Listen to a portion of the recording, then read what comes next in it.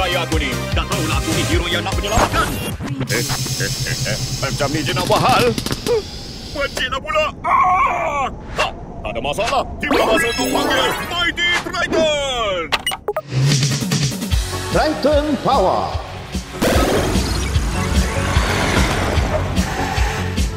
Wah, ini baru sah. Tolong! Huh? Saya telah dekat, Mak. Kucing ini milik aku. Oh, tolong selamatkan aku. Penculik kucing gaib. Dalam masa 45 saat saja, cuba atasilah halangan saya kalau kamu nak selamatkan kucing ini sebelum kami hilang di sempadan selama-lamanya. Jangan risau si Comel. Saya akan selamatkan awak dengan kekuatan dan ketangkasan Triton ini. Dengan 181 PS kuasa maksimum dan 430 Nm kuasa kilas. Amat mudah untuk Triton mencecah 90 km sejam mengejar kereta penculik. Tetapi bagaimana Triton mengelak halangan pada kelajuan tinggi ini? Mari kita saksikan. Balik halangan sekarang.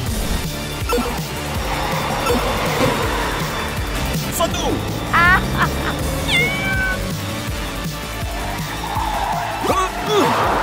Dua. Halangan kamu tak setanding dengan ketangkasan dan kestabilan Triton ni.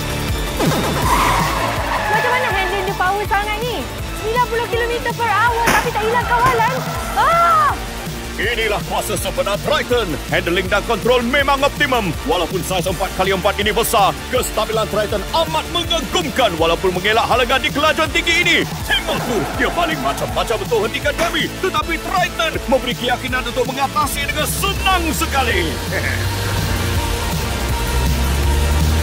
Saksikan respons Triton.